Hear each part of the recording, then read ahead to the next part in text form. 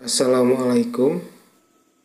Kali ini ada masuk servisan lagi HP Advan S5e 4GS Kasusnya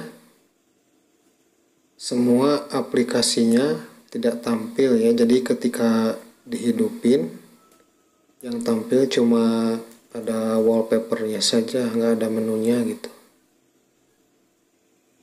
jadi untuk percobaan saya akan melakukan hard reset terlebih dahulu.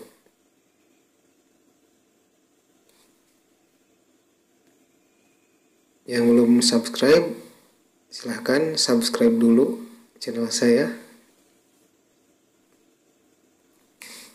Dan kita langsung mulai saja ya proses hard resetnya.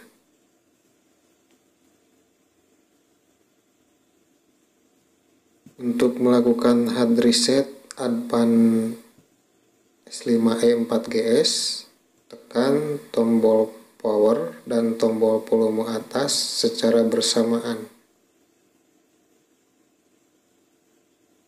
HP-nya dalam keadaan mati ya. Kita tekan tombol power dan volume atas. Ditekan Tunggu sampai muncul logo Advan-nya.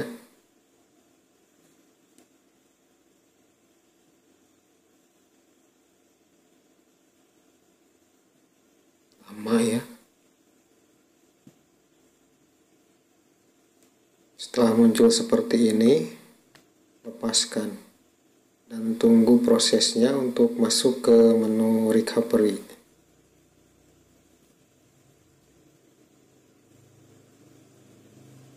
Di sini kita lihat banyak sekali menunya ya. Untuk memindahkan menu, gunakan tombol volume atas dan volume bawah. Dan untuk OK, pakai tombol power.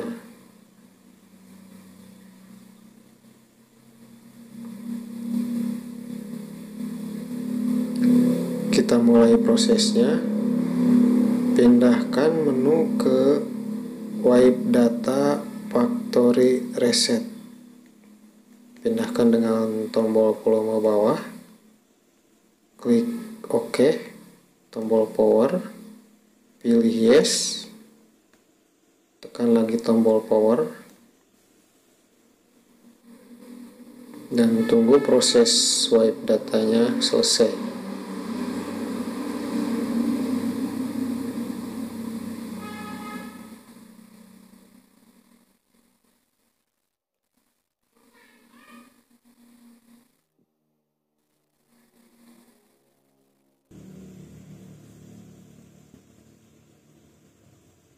ini sudah selesai. Selanjutnya pindahkan lagi ke menu wipe change partition.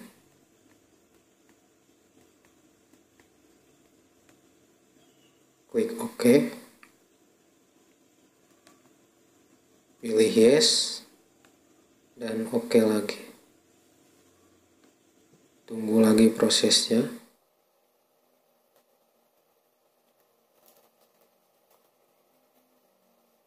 Ini lumayan lama ya.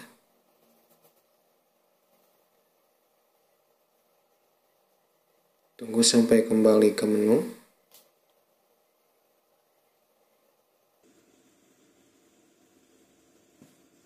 Kalau sudah selesai seperti ini, langsung pilih Reboot System Now. Langsung klik OK.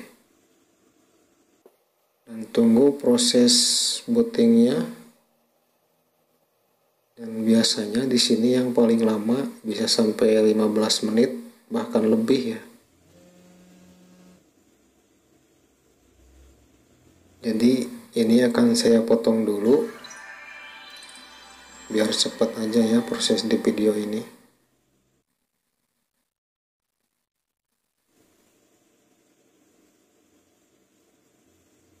Ini sudah hidup dan kita akan mulai lakukan setup.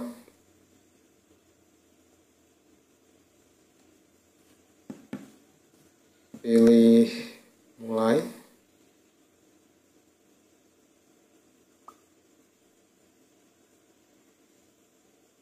di sini bisa kita pilih lewati saja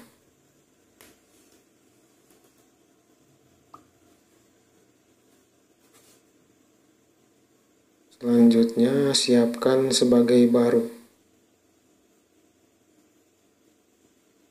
Pilih jangan gunakan jaringan untuk penyiapan. Pilih lanjutkan.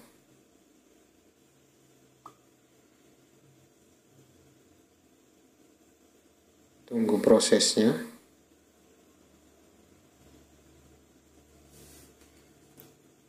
Geser ke bawah, terus pilih berikutnya. Tunggu lagi. Pilih lagi berikutnya.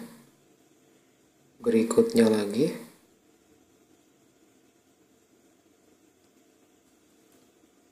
Geser pilih jangan sekarang. Tetap lewati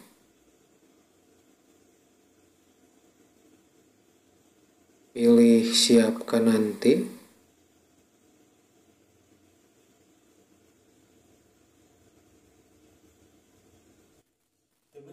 Ini sudah selesai ya dan berhasil masuk dan menunya sudah tampil kembali seperti biasa. Terima kasih sudah menyaksikan video ini. Semoga bermanfaat.